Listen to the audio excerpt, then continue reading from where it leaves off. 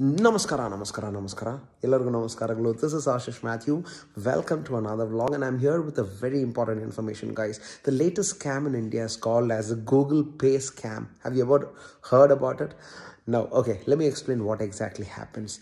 You will be receiving some amount in your Google Pay account, okay? So as soon as you open your Google Pay app, you will see that you received some amount from an unknown number and then after some time you will be receiving a call or a message from the same number telling that you know by mistake i had sent you 100 bucks. Something like i'm showing on the screen okay? I have sent you 100 or 200 bucks. This was by mistake.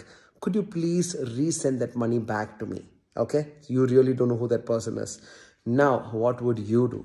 Definitely you would just think oh my god this guy just lost his money and he has sent it to you by mistake. This could happen to me as well.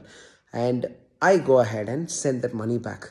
The next moment, what happens, your account is hacked.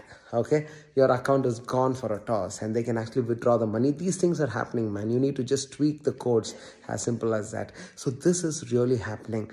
Please beware when you're actually receiving money from a very unknown number.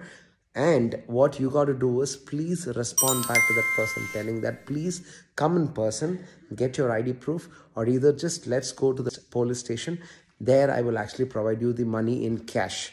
Please don't transfer back through Google Pay or PhonePe. Okay, so these these online transactions could be very tricky. Okay, you could you could have a very tough time. So just guys, you know, I just wanted to inform you guys about these scams. There are many more scams. I will be making videos on that as well. Just to beware. Okay. World of scams. Jamtara. Thanks a lot. This is Ashish Mathew signing off. Jai Karnataka Mate. Jai Hind.